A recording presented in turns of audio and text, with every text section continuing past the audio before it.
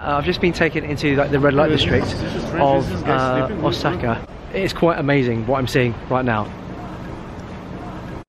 Built in the early 1900s to cater for Osaka's growing population of labourers, in 1958, when Japan made prostitution illegal, the Tobita Shinchi brothels, using their wily Osaka merchants' mindset of always finding a way, simply registered as restaurants.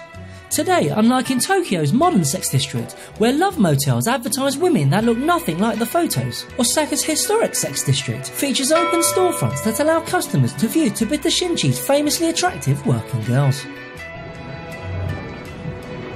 When the storefront is empty, the girls are indeed working, as given away by the man's shoes.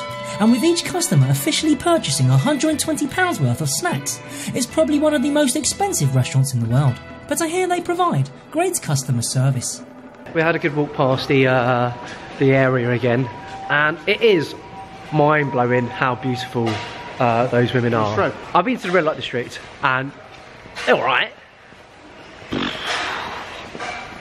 William, aren't, how good looking are those women? was like 9 out of 10 or something. Mine out there, they're like 11 out of 10. What are you talking about? Yeah, and then they're like wearing s- like, like, like fantasy costume. yeah, fantasy costumes is what they're doing. Like, also the old granny, Andre over here thinks that that's actually the mum of the of the of the girl. My main point here is that the, the, the girl who is actually doing the business is supposed not to speak too much because she want to be like, you know, ah. like a precious thing. Oh, so she let somebody else do the yelling and stuff. You're totally wrong. yeah.